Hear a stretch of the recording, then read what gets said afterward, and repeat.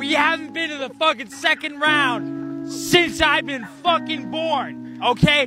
I can drink liquor at this point. Still don't have a win in it. They still don't have a win in the second round.